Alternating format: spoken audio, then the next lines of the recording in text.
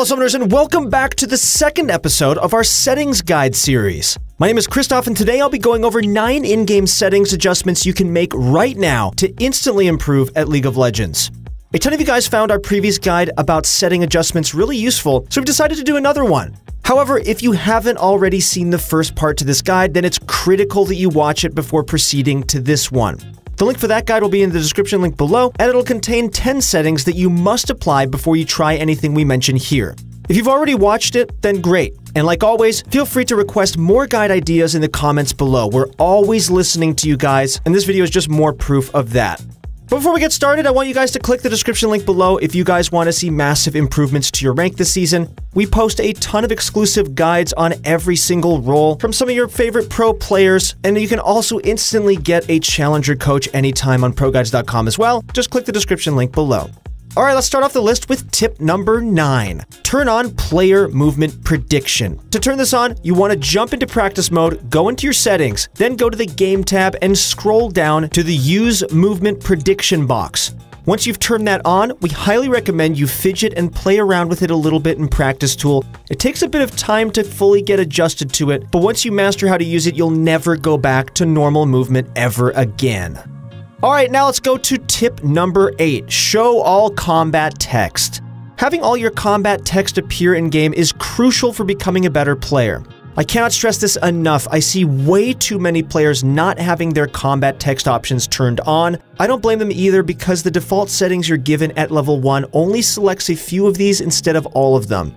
But before we go further into this, I want you to jump into Practice Tool, then go to Settings into the Interface tab, then scroll down to Combat Text and select all 12 options. These include damage, gold, quest, enemy damage, level, score, heal status, mana, dodge, special, and experience. Having all of these turned on will mean that a small text will appear near your champion whenever you gain XP from a minion, gain gold from an objective, get healed from a teammate, and the list goes on. Having all this information will help optimize and maximize your chances at winning more games. Once you start becoming aware of the numbers and what they mean, you'll start approaching the game at a much more analytical level and start the basics of damage calculation, XP distribution, and so many other advanced concepts. At number 7, we have Attack Move on Cursor. If you watched our previous episode on setting adjustments, then you may remember a segment we had on attack moving. This is a continuation of that, and it will cover a setting called Attack Move on Cursor. Now, unlike the other attack move setting, this is located in the Game tab under the Gameplay section. If you find yourself having issues with accurately right-clicking your target, then you should really try turning this on. What Attack Move on Cursor does is that it'll make it so that if there are multiple targets in your immediate attack range, rather than attacking the closest target to your champion, it'll hit the one closest to your cursor. This can be useful when you're playing as someone like Vayne and when you have two silver bolts on the enemy Caitlyn. Once you tumble forward, you won't have to worry about accidentally clicking the ground beside her and hitting the minion closest to you. Instead, it'll hit the target closest to your cursor, which will be Caitlyn. Next up at number 6, quick cast your abilities. It goes without doubt that the vast majority of high elo and professional players quick cast their abilities. Quick casting, or better known as smart casting, is when the selected ability automatically inputs towards the position of your cursor without the ability indicators appearing on the screen.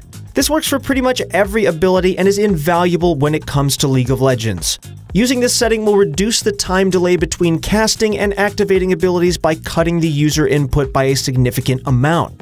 Whenever you're in a close 1v1 or a heavy team fight, then cutting those extra few seconds will increase your chances at winning by a lot. There's a reason why almost every pro player uses smart casting, and it's because it gives you such a big advantage on your opponents. I know a lot of players in lower elos prefer not smart casting because they become much less accurate with their skill shots. Although this is somewhat true, you can overcome this with enough practice. You just have to take time to get used to it and keep spamming it in normal games. Once you start quick casting, you will literally never go back to normal casting again. To turn this on, go to the practice tool, open your settings, then hotkeys, and then you'll see a small button near the top that says Quick Cast All. Turn that on and keep practicing with it. Trust me, it'll make you guys much better at the game. Speaking of quick cast, next up at number 5 is turn on your ranged indicators. Now, I know we just went over an entire segment talking about how quick casting is useful. However, if you just cannot seem to grasp how to quick cast efficiently and effectively, then try this setting out. Go into your settings, quick cast every ability, and then click a small box underneath which says Replace Quick Cast with Indicator in the Quick Bind UI. What this will do is it will find a middle ground between full quick cast and normal casting.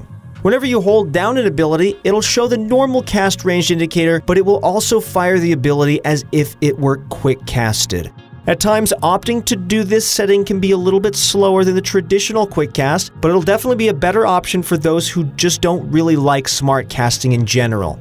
Make sure to try both of these out and then choose at least one or two of these in your ranked games. You guys will be thanking me later for this, but you can do that now by clicking the like button on this video. Next up at number 4 is Unlock Your Camera. If you've come from a different genre of games, and I completely understand why you would want to keep your camera locked. However, if you want to learn to get good at MOBAs like League of Legends, then having your camera unlocked or at least semi-unlocked is very important. An unlocked camera can increase your chances at winning once you become accustomed to it. You can look ahead of your champion, browse around the map, and then aim global skill shots much more accurately. For example, if you want to ward hop as Lee Sin, then having your camera unlocked would make it much easier since you won't have to move your cursor in order to place the ward and then hop towards it. Almost every professional player has an unlocked camera, but sometimes you can get away with keeping it locked if you have insanely good map awareness. In order to unlock your camera, just press Y on your keyboard once you get into game. If that doesn't work, then head into Settings, Hotkeys, Camera Options, and then scroll down to the Lock Camera option. And next up at number 3, we have Turn Off Summoner Names. I'm sure most of you watching this video have experienced something like ranked anxiety before. If you're unaware of what this is, it's basically when you start feeling nervous during ranked games and can't play comfortably like you do in normals. Although there isn't a magic cure to instantly get rid of anxiety, something that has been proven to help us is turning off summoner names. Hit that full mute all in chat and turn off summoner names. Pretend that everyone is just a champion and forget that there is an actual person on the other side of the monitor. To turn this off, go into Practice Tool, then open up your settings, then the Interface tab, and then scroll down to Health and Resource, and then click Show Summoner Names. Unlike the other settings we mentioned, this one is completely optional, but I'd recommend trying it out before you make a final decision. Coming in at number 2, turn on your chat timestamps. This one is pretty self-explanatory, but you'd be surprised at how many players don't even know that this setting exists. Much like the combat text options, this setting doesn't turn on by default at level 1, but is absolutely necessary for your improvement. Now, why is this important? Well, whenever you ping an enemy's summoner spell or ultimate, then a small text appears in the chat which shows exactly what you pinged. Having timestamps on will allow you to see exactly when you pinged this ability and also allow you to calculate when it'll be back up. The alternative to using this would be to keep a mental note of exactly when you pinged, which can seriously distract you in-game unless you're a god at multitasking. Once you start using this, you'll notice that you'll be a lot more aware of opportunities when the enemy makes a mistake and starts solo killing more often. This is the first step at looking for openings in lane and also understanding the weaknesses of a champion, so make sure you turn it on. To enable this setting, go into Practice Tool, then Interface, then scroll down to Chat and click on the Show Timestamps option. Finally, at number one, our best in-game setting is Play League of Legends on Borderless mode. If you're like me and you like to tab in and out of game pretty often, then you might want to consider playing on Borderless mode. By turning this on, you reduce the delay and waiting time of tabbing in and out. This is useful when you want to change a song, receive a message, or even just entering a Discord call. Try it out and let us know how that goes down below. That's it for our 9 setting changes that you can do for instant improvement in League of Legends. Let us know which one of these settings changes worked for you guys in the comments below, and if you enjoyed watching this video then please leave a like and consider subscribing to our channel. Also, make sure to check out ProGuides.com using the description link below if you want to see huge improvements to your rank this season. Thank you guys so much for watching, good luck in your next few games, and we'll see you on the Rift.